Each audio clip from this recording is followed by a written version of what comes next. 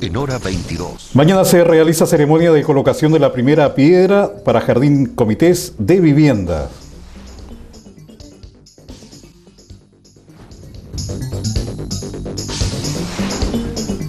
Dos nuevos carros recibió el cuerpo de bomberos de nuestra ciudad para Puerto Chacabuco y Villa Mañiguales. Se realiza en dependencia de la Gobernación Provincial de Aysén renovación de becas y también para alumnos nuevos.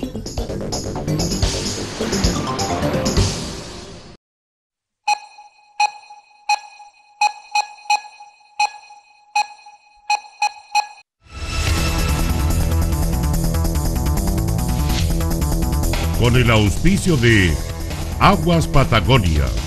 Presentan en Canal 11 TV Aysén, hora 22. ¿Cómo le va? Bienvenido a nuestro informativo del día de hoy, miércoles, mitad de semana, ya que comenzamos a revisar informaciones aquí en el Canal 11 de Puerto Aysén. Bueno, le vamos a contar que mañana con la presencia de la directora nacional de Junji se va a realizar en nuestra ciudad la ceremonia de colocación de la primera piedra para el jardín infantil de los comités de vivienda. Sobre esto nos informa la máxima autoridad provincial. Bueno, efectivamente el jueves 11 de enero eh, vamos a tener una importante ceremonia, actividad, donde se va a iniciar un hito, cuál es la primera piedra del Jardín Comité Vivienda de Puerto Aysén. Este es un jardín que está ubicado en la cercanía, o va a estar ubicado en la cercanía de donde hoy día está en el complejo habitacional Camino Chacabuco. Eh, en esa importante actividad viene eh, justamente la directora de, de Junji, que va a dar este inicio a este importante jardín que va a beneficiar a todos los eh, vecinos de Chacabuco. Bueno, ahora le vamos a contar que en el día de ayer el cuerpo de bomberos de nuestra ciudad recibió dos nuevos carros que serán destinados para Villa Mañiguales y Puerto Chacabuco.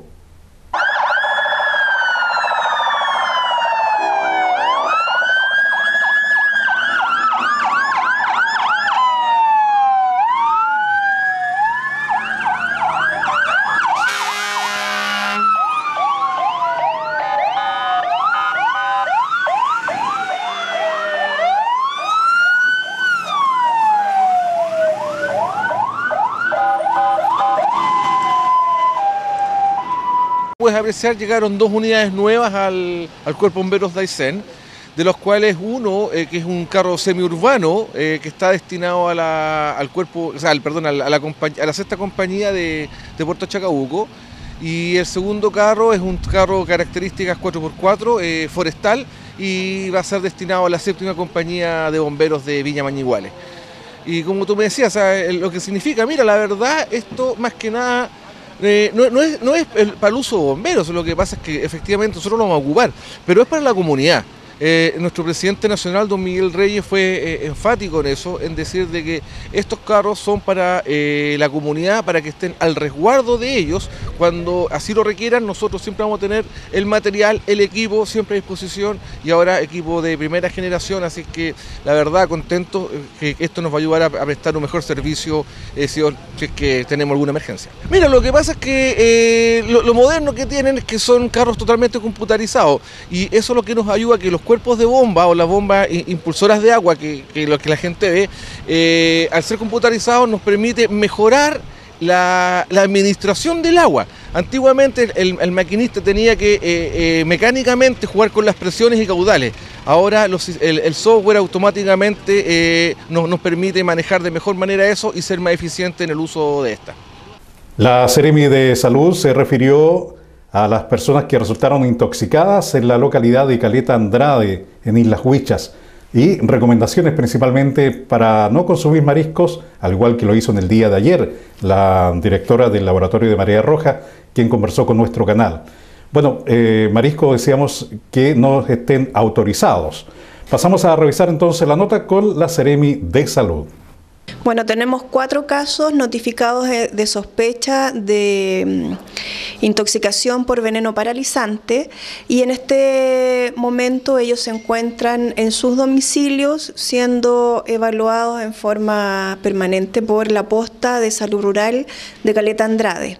Estas cuatro personas son mariscadores de orilla que consumieron sus mariscos eh, sin tener el análisis de laboratorio, ellos sintieron rápidamente sintomatología, por lo que dejaron de consumir el marisco, acudieron a la posta y felizmente, eh, como había sido bajo el consumo aún, comenzaron entonces con toda la evaluación médica y finalmente están dados de alta eh, en buenas condiciones.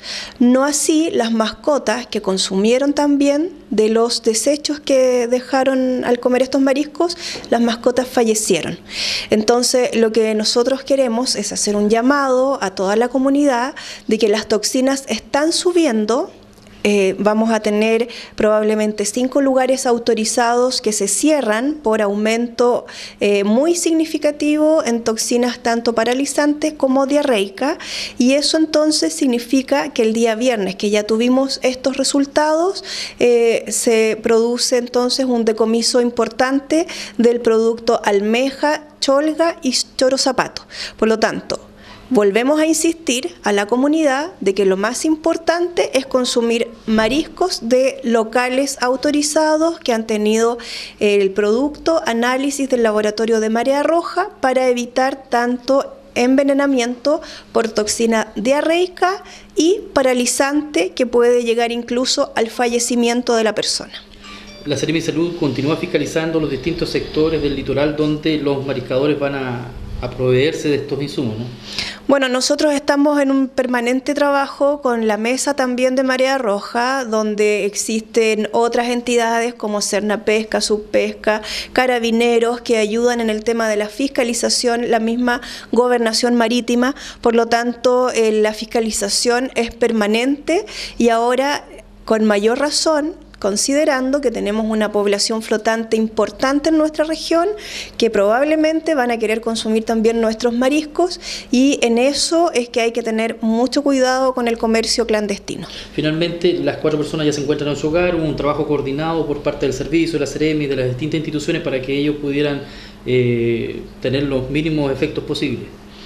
Bueno, ellos al momento de consumir sintieron rápidamente, por efecto de que las toxinas están altas, sintieron los síntomas, acudieron a la posta, fueron evaluados, tuvieron una buena evolución y fueron dados de alta a su domicilio. Eh, por supuesto que se hizo la recomendación a toda la comunidad de este sector que no pueden consumir eh, mariscos sin tener análisis de laboratorio de marea roja. La presidenta de Barrios Comerciales nos cuenta acerca del tema de seguridad que han implementado especialmente los locatarios para evitar robos. Esto es lo que manifestó entonces Ana María Pid. Mira, es lamentable y tengo entendido que el último robo que hubo a uno de nuestros locatarios eh, fueron hechos por unos menores de edad al parecer, por lo menos el que fue detenido fue hecho por un menor de edad. Entonces yo quiero advertirle a los papás, a los niños que andan haciendo maldades, por ponerle así, entre comillas, eh, que tengan mucho cuidado porque nosotros estamos muy preparados en cuanto a seguridad en nuestros locales. Tenemos la chicharra, eh, todos los locales están con, cámaras de seguridad, de vigilancia que están de día y de noche funcionando. Eh, nosotros estamos organizados como barrio comercial, sea la hora que sea.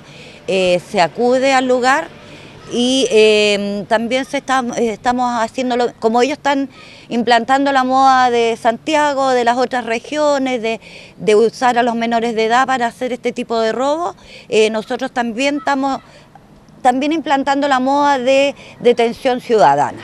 Así que em, dentro del día em, domingo tengo entendido que por el dueño del mismo local, fue detenida la persona, una de las personas, porque creo que fueron tres o cuatro, eh, así que fueron fue detenida la persona y eh, nosotros estamos también en, ese plan.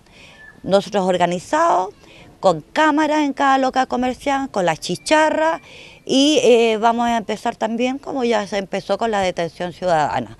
Así que queremos advertirles si ellos tienen intenciones de seguir robando nuestros locales, eh, se atengan a las consecuencias. Sobre recursos aprobados recientemente por el GORE para programas de empleo en diferentes localidades de nuestra región y también en nuestra ciudad, nos informó el consejero regional Eligio Montesinos. La verdad que ayer hubo una presentación de una cartera eh, de empleo para el 2018. Se hizo una distribución por, eh, por comuna y por provincia y en el caso de, de Aysén, de la comuna de Aysén, se le aprobaron eh, mil, dos, mil dos millones de pesos, mil millones. Y bueno, ahí a todas las comunas, a las 10, y la verdad que ese es un marco y obviamente que el municipio a través del, trabajo del año, del trabajo cotidiano, va desarrollando los proyectos y ahí se le van aprobando eh, de nuevo en el Consejo Regional. Así que esa es una buena noticia, estaría, eh, estarían cubiertos ¿no cierto? los recursos para que siga la gente de Aysén, los PMU, eh, trabajando. Así que esa es una información positiva. En otro, orden de cosas, em, solicité, como ya estamos a fines de año, se va al gobierno, hay un cambio de administración, la situación actual del enrocado. Hemos hablado del enrocado por mucho tiempo y vamos a seguir hablando hasta que se le saque eh, el RS para pedir el financiamiento. Eh, también solicité en qué situación está la zona franca. La zona franca se estaba hablando del año 12 y del año 13 y este gobierno eh, ha sido incapaz de sacarlo adelante. A ver qué situación queda para que la nueva administración, cuando a partir del 11 de marzo tenga los antecedentes claros con qué actuar. De igual manera, en qué situación está el plan regulador. Sabemos que el plan regulador es un instrumento de planificación muy importante para, la comuna y para la región. De igual manera, em, solicité todos los proyectos de pesca, de pesca, de turismo, del agro, del tema de la conectividad, en qué situación está.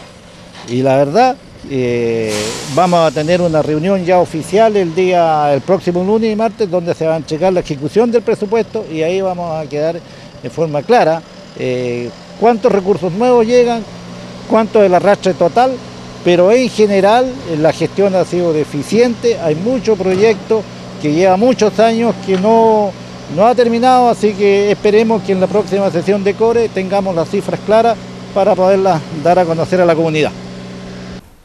En dependencia de la Gobernación Provincial de Aysén se inició el proceso de renovación de becas y también para alumnos que por primera vez están postulando a este beneficio.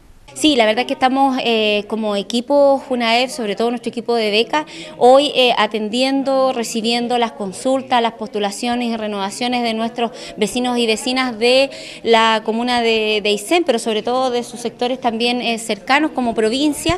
aquí en la gobernación agradecer la excelente coordinación que ha habido con el señor gobernador y con todo su equipo.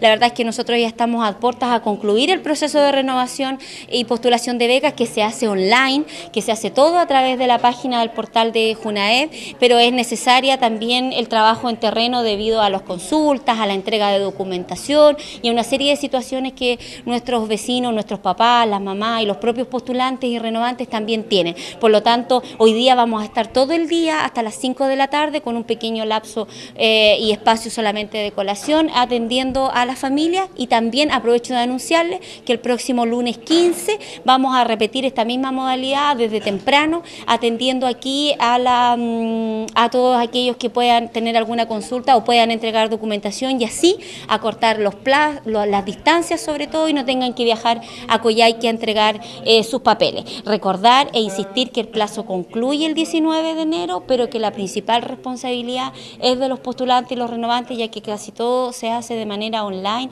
Los chicos hoy en día son nuestros hijos de la tecnología, están muy eh, con sus teléfonos todos los días, por lo tanto pueden hacer desde ahí no solo sus consultas, sino que también su renovación y postulación. Mire, las, preguntas más recurrentes son obviamente los plazos, eh, y esto comenzó el primero de diciembre y concluye ahora el 19 de enero. Otra pregunta recurrente tiene que ver con el registro social de hogares, que también ha generado una cierta dificultad porque eh, para poder postular el sistema automáticamente le pide haber tenido su registro social de hogares hasta el 31 de octubre del año pasado.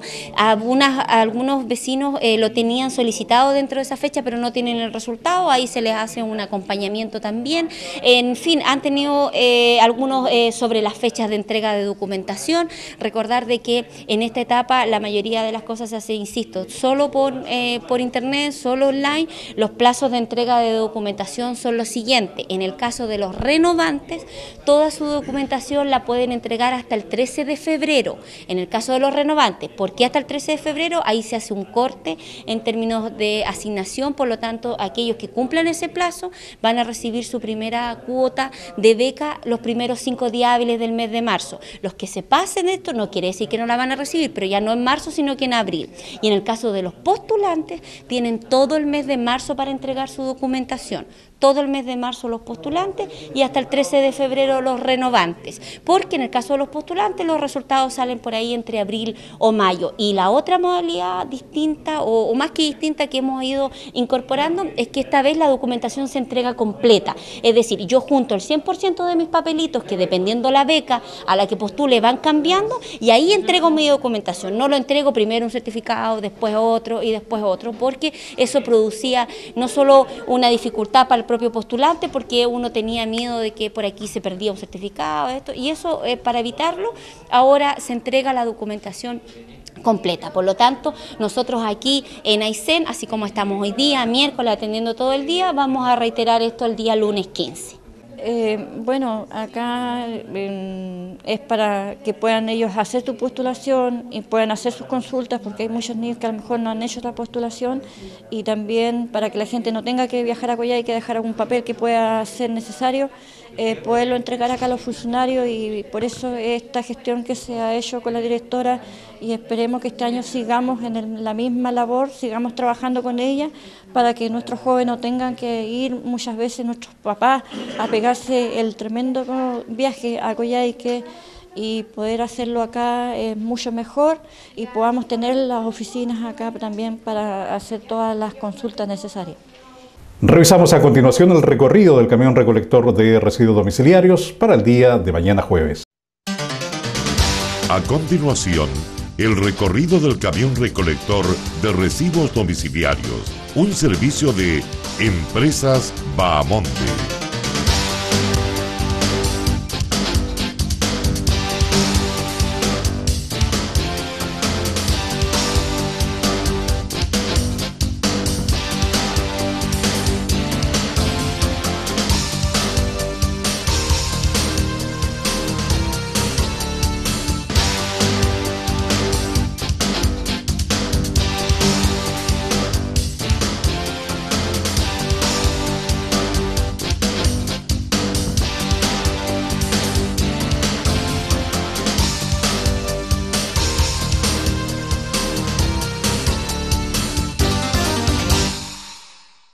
Muy bien, nos despedimos. Muchas gracias por la sintonía. Que esté muy bien. Gracias por informarse con nosotros en el canal de la gente de Aysén.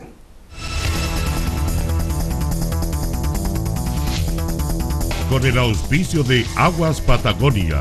Confianza en lo nuestro. Presentaron en Canal 11 TV Aysén. Hora 22.